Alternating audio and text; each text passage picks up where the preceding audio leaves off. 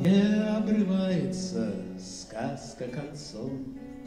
Помнишь, тебя мы спросили вначале, Что остается от сказки потом, После того, как ее рассказали, Может, не все, даже съев пирожок, Наша Алиса во сне разглядела, А Эх, так-то, дружок, в этом-то все и дело.